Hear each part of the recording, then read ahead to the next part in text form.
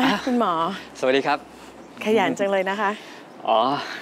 คืออุ้มเขาบอกว่าอยากให้ผมลดน้ำหนักสัก2อสกิโลก่อนที่จะแต่งงานนะครับอืมแต่ว่าคุณหมอก็ดูดีอยู่นะคะ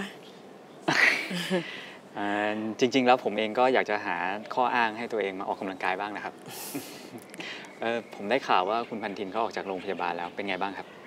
ค่ะตอนนี้ก็กลับมาอยู่ที่บ้านแล้วก็กายภาพบำบัดอ๋อ ถ้าต้องการพยาบาลไปดูแลที่บ้านเนี่ยติดต่อทางเน r ร์ i ซิ่งโฮมได้นะครับ เรามีบริการอะไรแบบนี้ครับ ค่ะ ขอบคุณมากค่ะ เดี๋ยวหนึ่งจะไปบอกคุณพันธินแล้วกัน ยินดีนะครับ อ๋อหนึ่งยังไม่ได้แสดงความยินดีกับคุณหมอจริง ๆ จังสักทีหนึ่งยินดีด้วยนะคะ ที่กำลังจะแต่งงาน ขอบคุณมากครับ แล้วก็ไม่ต้องคิดมากนะครับ ผมเข้าใจว่าช่วงนี้ คุณน่าจะยุ่งๆอยู่ใช่ไหมครับเอ่อเมื่อวันก่อนที่โรงพยาบาลนะคะ ที่คุณอุ้มขอคุยกับฉันเป็นการส่วนตัว ฉันรู้สึกว่าคุณอุ้มเขาคงไม่ค่อยพอใจเท่าไหร่นะคะ ที่คุณหมอคืนบ้านให้ฉันน่ะแล้วฉันเป็นคนทำให้คุณสองคนมีปัญหากันหรือเปล่าไม่ทราบไม่มีอะไรหรอกครับ คืออุ้มเขาเป็นคนแบบนั้นเองแหละครับอย่าไปคิดมากเลยนะครับ ชีวิตคู่อะมันก็ต้องเริ่มต้นด้วยความ ไว้วางใจกัน ถ้ามันไม่มีแล้วเนี่ยก็คงจะอยู่กันลำบากนะคะ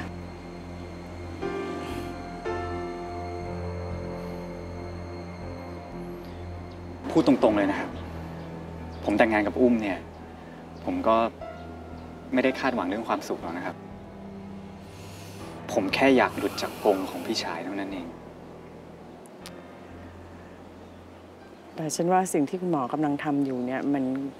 ก็เหมือนกับแค่ย้ายจากอีกกรงหนึ่งมาอีกกรงหนึ่งเท่านั้นเองอะ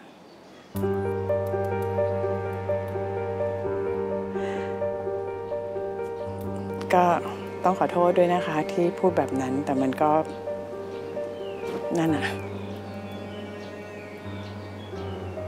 ชีวิตของผม มีพี่สาวคอยถือสายจูงลากผมไปทางโน้นทางนี้มาตลอดชีวิตนะ แล้วสิ่งที่ผมทำไปทั้งหมด เพราะผมต้องการเป็นอิสระจากพี่สาวผม แล้วผมก็ทำสำเร็จแล้วด้วย แต่ฉันว่าที่ผ่านมาคุณหมอก็ได้เลือกแล้วนะคะ คุณหมอเลือกที่จะไม่เลือก คุณหมอเลือกที่จะอยู่ในชีวิตที่พี่สาวคุณกำหนด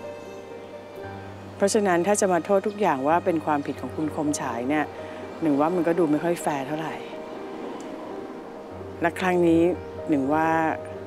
คุณหมอคงเลือกแล้วเช่นกัน หากมีปาฏิหาริย์ที่พาให้ฉันได้เจอกับเธอคนนั้น